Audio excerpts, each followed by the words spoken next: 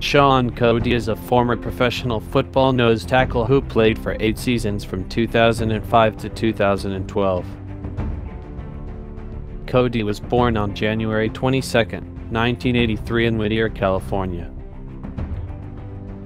In college, Cody played for the USC Trojans in Los Angeles, California. In 2003, he was named first team All Pac 10.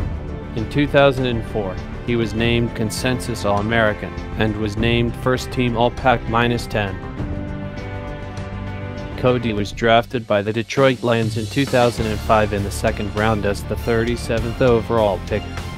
Over eight seasons, Cody played for the Detroit Lions and the Houston Texans.